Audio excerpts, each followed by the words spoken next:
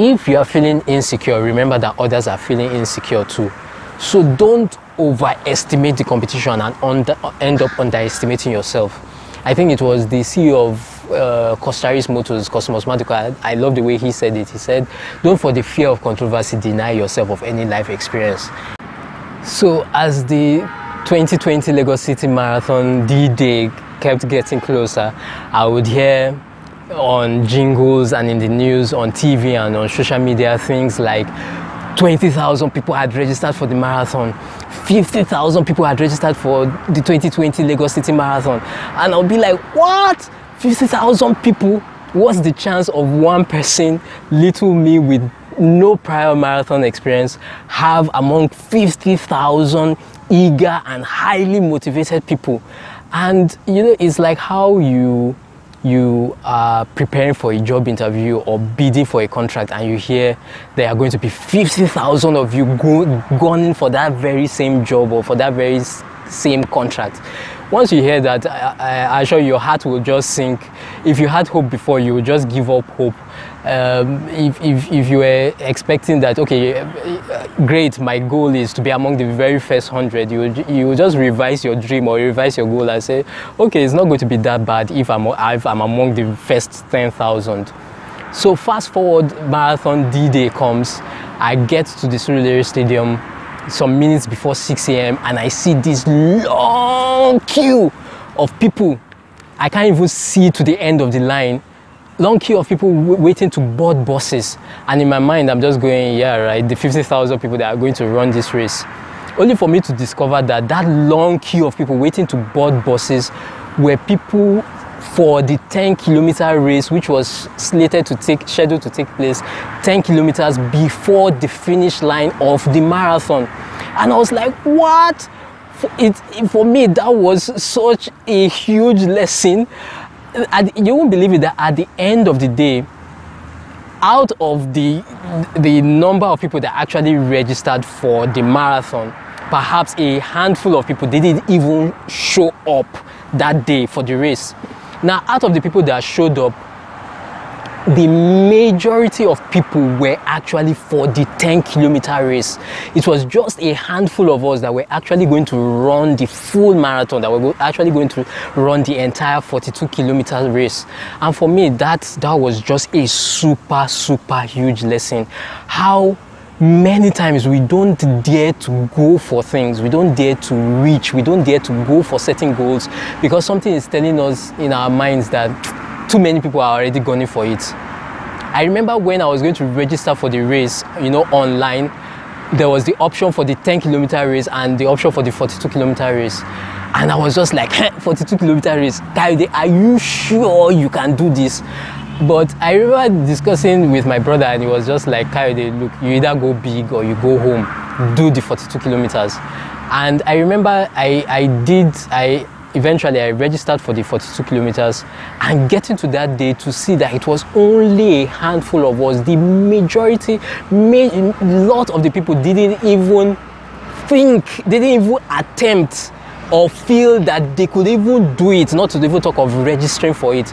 And you know, for me, that was just a very, very huge and powerful lesson that dare to go for the big goals, dare to dream big because only a handful of people, only very few people would dare to in the first place.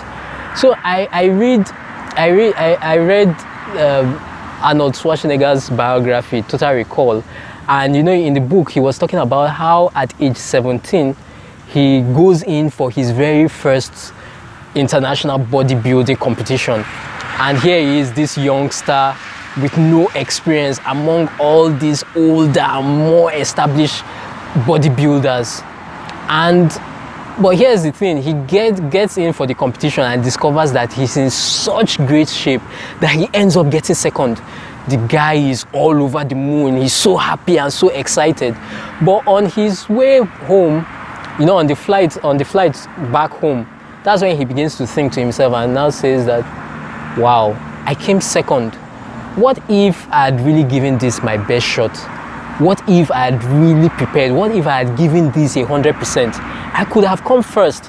And you know that it was at that time at that point that he made up his mind that he would never go into any competition to compete. He would never go into any event, any project to compete. He will always go in to win.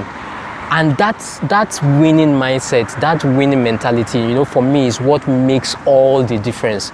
That you do not see yourself as a struggler, you do not see yourself as a statistic, as just one of the so of the numbers you see yourself as a champion, you see yourself as a winner, irrespective of, with all due respect, but irrespective of whosoever the competitors may be. And that you refuse to give that excuse of the competition as a reason why you don't dare, as a reason why you don't dream or you dare to reach for that particular goal that you know you should be gunning for. And you know, for me, that's just what is so instructive and you know, such a very, very powerful lesson. I, I like the way Tim Ferriss puts it. He says that if you are feeling insecure, remember that others are feeling insecure too.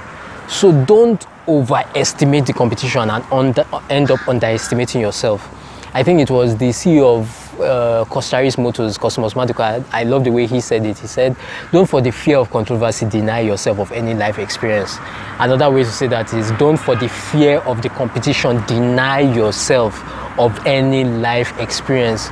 Don't make that your excuse because that's what many people do. They say, "Look, I'm ah, I, I have you ever thought about it this way that the reason you and I are probably struggling at the level that we are struggling on is because we are not dreaming big enough. We are not daring big enough. We are not reaching high enough. Have you ever heard of traffic congestion in the air?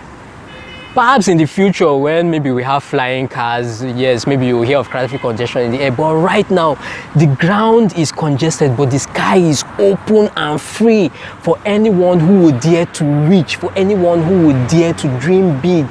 And that's the interesting thing. Only few people are gunning for those very big goals. So be among those handful of people. Be among the very few. And what do you know? You may just come first among those very few people who are gunning for those very big goals, those goals that get the blood in your veins pumping and cause you to leap out of bed. And even if you don't come first, here's what is going to happen. You would have gotten the satisfaction of knowing that you gave everything to, tr- to trying to achieve that goal. You gave it your all. You gave it your very best shot as the winner and as the champion that you know that you are. You dare to dream where others wouldn't dream to dare.